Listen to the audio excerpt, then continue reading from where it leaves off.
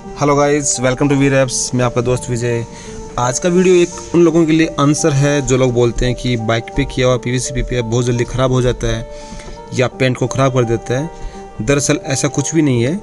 इस बाइक का टैंक आज से ठीक डेढ़ साल पहले पीपीएफ किया गया था। इसकी कंडीशन आप देख सकते हैं। पी वी सी में सेल्फ फिलिंग स्ट्रेंथ 20 परसेंट होती है। इसलिए इसके ऊपर के सरफेस पे स्क्रेचेज आ रखे हैं।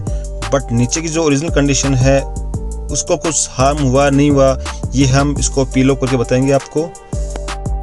तो चलिए टैंक को पीलो करने की प्रोसेस शुरू करते हैं। वीडियो के अंत तक बने रहिए।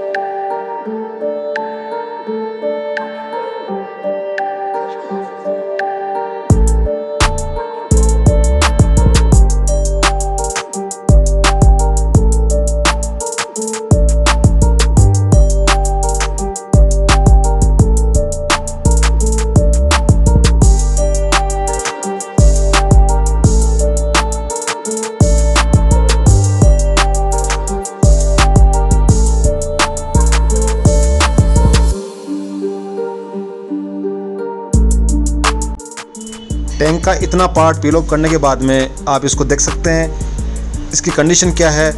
As it is original colour के जैसे शो हो रहा है ये।